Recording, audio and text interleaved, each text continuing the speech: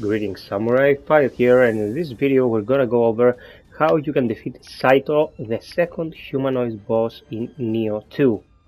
Saito is different from the elephant dude in a way that she is also a shiftling like the protagonist and she has guardian spirits with which she can fuse.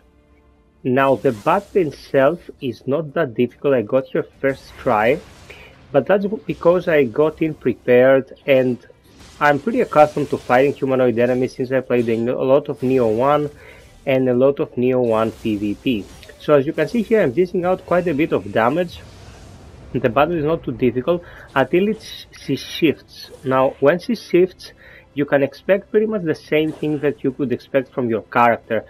No stamina consumption, she can move very fast and she can attack relentlessly. If you have sloth, you can slow her down in this instance to avoid getting overwhelmed by her assault.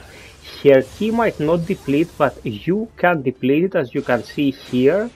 I did it by using the Odachi mid stance light light heavy attack. And after you take her out of her transformation is business as usual. She returns to her human form and if you have a heavy weapon with a high break capabilities, she will pretty much be a joke. So I hope this helps guys. I am covering everything I can get my hands on in Nioh 2. So sub, like and share.